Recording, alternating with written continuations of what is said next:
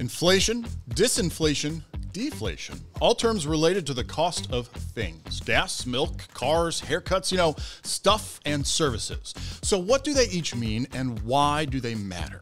An upfront synopsis Inflation is an increase in price, most often measured year over year, meaning how much more does something cost today compared to one year ago.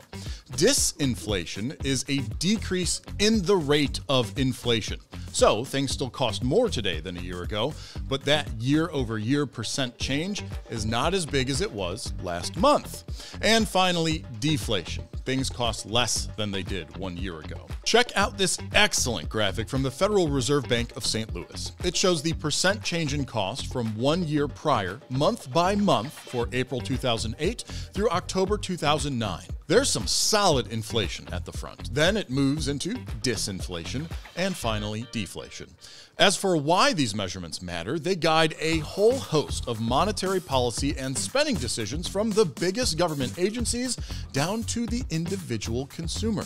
Yeah, even you watching this video, you may not be analyzing market trends, but the way price points move do make an impact. Super high inflation is probably obvious. Things cost way more, so you spend less or buy different cheaper things.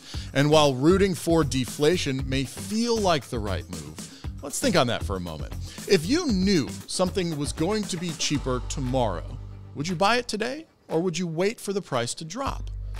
Exactly. Enter another excellent graphic from the Federal Reserve Bank of St. Louis, this one on the dreaded deflationary loop. Prices dropping leads to demand dropping because people are waiting to buy. That means profits decrease for businesses who then lay off employees out of financial necessity. Overall incomes start to decrease due to unemployment rising, which reduces demand again, leading to more deflation.